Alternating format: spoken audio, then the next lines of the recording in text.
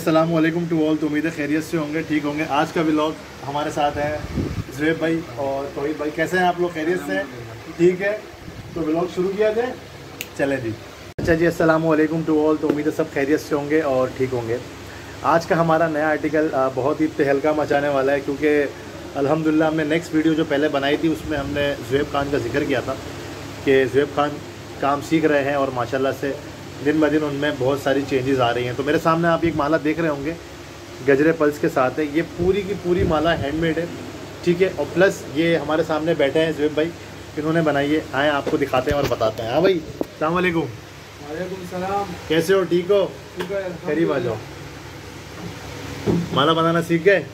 माशाल्लाह सीखा है हमने। कैसे बनाई है? हमने माशाल्लाह बनाया है छः दिन में। छः दिन में माला बनाई है। चलें ठीक है इंशाल्लाह ये कि वन बाय वन इनकी प्रैक्टिस हो रही है। टाइम लगेगा थोड़ा इंशाल्लाह। अच्छा ये बताओ कि ये इजी माला थी या थोड़ी हार्ड थी? इजी माला थी इतना हार्ड नहीं था। अच्छा हाँ, तो इसमें कितने मोती कितने इस्तेमाल हुए? हैं मोती छः सौ। छः सौ मोती। पूरी माला के अंदर छः सौ मोती इस्तेमाल हुए। हैं ठीक है और इसमें आप मुझे ये बताओ कि इसमें धागा कितना इस्तेमाल हुआ? धागे का आइडिया नहीं है। चलो कोई मसला नहीं है क्योंकि धागा बहुत सारा बंदा लेता रहता है। तो अच्छा बॉलें कितनी यूज़ हुई हैं इसमें बोले इसमें छः छः बॉलें यूज़ हुई हैं जैसा कि आप देख सकते हैं। इसमें वाकई छः बॉलें यूज़ हुई हैं दो नीचे हैं दो यहाँ हैं और फिर दो यहाँ हैं। चलें जी ठीक है। इंशाल्लाह ये है कि हमारा ये बेहतरीन प्रोडक्ट होगा क्योंकि जेब खान ने इसको बनाया है इंशाल्लाह। नया नया आइटम इंशाल्लाह बनाएँगे फिर आप लोगों को वीडियो दिखाएँगे इंशाल्लाह। चलो ये हुई ना बात वेरी गुड लाइक करो फॉलो करो इंशाल्लाह। लाइक करो कमेंट्स करो सब्सक्राइब करो।